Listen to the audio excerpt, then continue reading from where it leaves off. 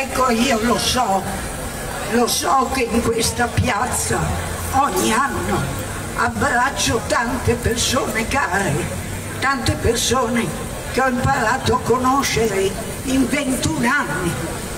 21 anni che noi ci troviamo e 21 anni che a noi viene negato un processo, un pubblico dibattimento in un'aula di tribunale.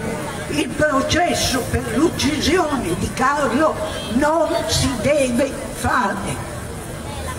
Ecco, è una cosa che è difficile da accettare. Io mi sono portata un amico tra i tanti che sono qua in piazza, me ne sono portata un'altra. È già stato ricordato oggi. Sulla testa, diceva, sulla testa. Lo diceva Giallo. Ecco, in 21 anni, tante volte mi hanno chiesto chi era Carlo? Ci hanno chiesto.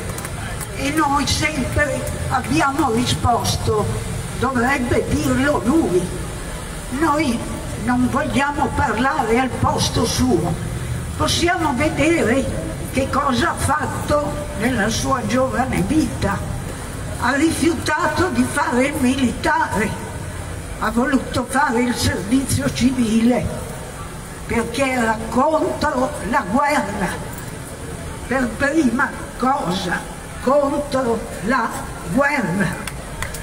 Quando c'è stata la guerra nella ex Jugoslavia voleva partire con la comunità di Sant'Egidio che andava a portare coperte, vestiti, generi di sostegno, non armi andava a portare generi di aiuto, non armi. Le armi non aiutano nessuno.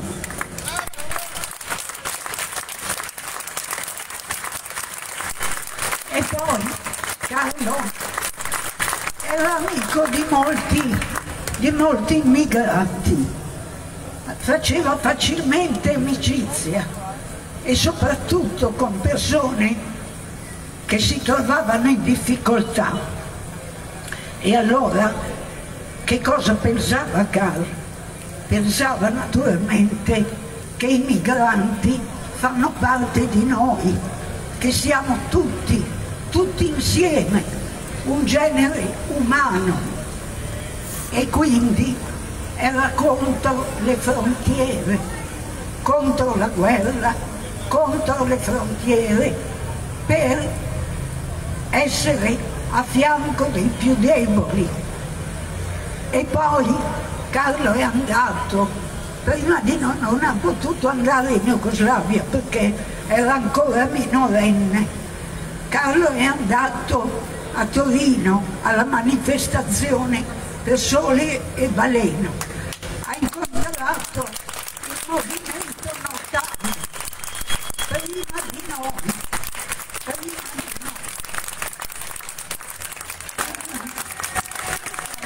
E, e quindi, terza cosa che possiamo dire, che Carlo era d'accordo col movimento Notav e con chi oggi difende quei territori, era d'accordo con quei ragazzi che oggi finiscono in galera perché non ci finiscono i delinquenti veri, finiscono ragazzi come loro.